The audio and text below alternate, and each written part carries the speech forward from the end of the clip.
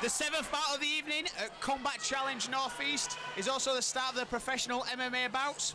This fight is in the lightweight division at 70 kilograms between Dave Stone in the red corner and he'll be taking on Ash Griffiths in the blue corner.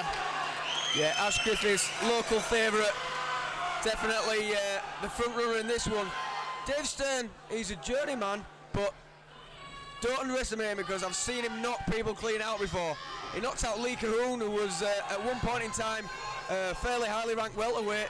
So, you know, but straight away, that's exactly what Griffiths needed to do. Shoot under the under the punch, get that takedown, and I'm fairly certain it'll be one-way traffic from there.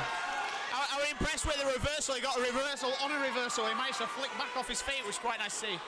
Now he's in. It looks as if he's trying to set up a crucifix against the cage so he can land a couple of elbows there.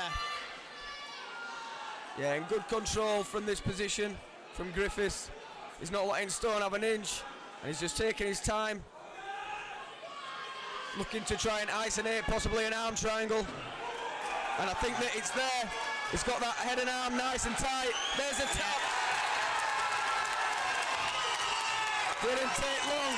First round submission for Ash Griffiths here at Combat Challenge Northeast. Did everything he needed to do.